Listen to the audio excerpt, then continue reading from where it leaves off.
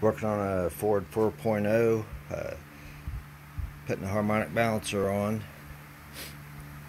And uh, anyway, I was having trouble with it spinning when I was trying to torque it down. It's only 40 foot pounds. Um, so anyway, I came up with the idea of uh, running a, a, bolt through the uh, the hole in your harmonic balancer and uh, threading it through the other side. Really, you wouldn't have to, but uh, you do have to run a bolt through there.